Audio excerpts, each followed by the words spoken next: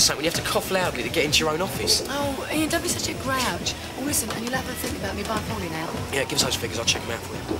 What's that about, Mum? It was a private conversation, actually, Mark. Fellas never did like working hard, did they? Isn't that right, Mark? You saying Mum isn't putting her weight? No, of course not. We're going to take your family over. Ian, You've got something to say to Mum, Kathy. You should say it to her face. It was a bit difficult at the moment, isn't it? She ain't talking to me. Well, me. you can see why, can't you? Yeah, do you know what your problem is? What you mean, apart from being related to you? You've got no business sense. That's why you'll always be the Indians and we'll always be the Chiefs. Well, you reckon, Oh, stop Yeah. it, the pair of you. Come on. Oh, right, this is a surprise. Hmm. Oh. oh, what the hell's going on Sharon, here? call the police. What? You're going to my mum again. Kill you. Oi, get out of the pub.